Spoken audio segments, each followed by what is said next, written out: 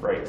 Uh, so this is, so I'm Kyle. Uh, I normally work in Python for the last probably two, three months. I've been doing a lot more JavaScript. I'm really happy. And uh, while I was at a scientific Python conference over the weekend, I said, man, I really love NPM. It's really good. And then I should go find a JS meetup in San Antonio. And so that's what brought me here today. So, yeah. So the, the main thing that I work on is uh, this notebook, which I'll make bigger. Um, right.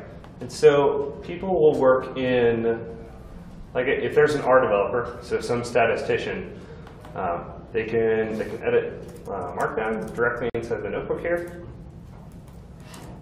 and they can run their plots here. And so we get back to these plots. And so this gives them an environment that they can uh, edit the document and document it, like, you know, basically literate programming of like whatever they're working on, as well as like rich, rich plots and even interactivity. So I don't know if I have a demo here. I have a different demo somewhere.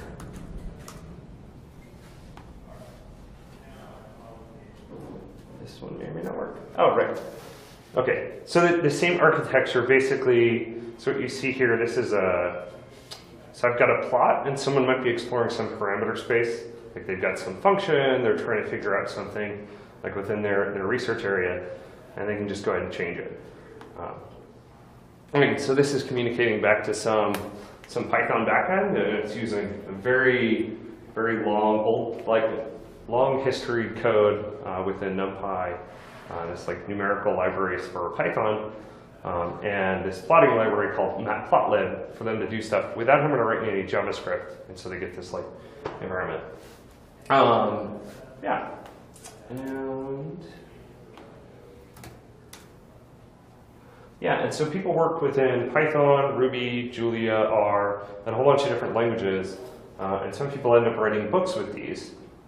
Um, so like a simple one here is this uh, probabilistic programming book. So right here it's this narrative text kind of long form blog post, but at the same time in between, I don't know if you guys are on the first page here, like he'll write his actual code for someone to read through and work with. Um, like this one I can't actually execute because it's a static page, but, but that's the basics for it. Um, yeah. And so O'Reilly's now using this stuff through their learning site. So the one that they just put up, so I've been working with them on this, um, which is that, so they'll have some content, and so this is teaching about pivot tables in Python. Uh, so like, you, know, you have the same narrative text, so it's that same notebook format, and then instead here, you can actually run with um, some like interactive data set. So I'm working through this data set that I just loaded. Right? There could be, you know, gigabyte, there could be, you know, just megabytes of data, gigabytes of data, whatever. But I'm communicating back to this, this backend the whole time. Uh, and the way that these like interactive demos work is that they're all in a Docker container that's, that's sandboxed and a app on top of it.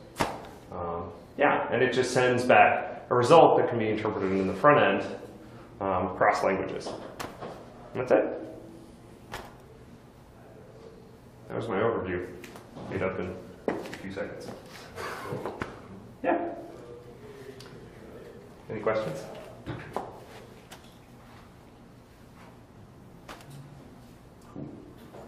very cool. Thanks. Yeah. Thank you.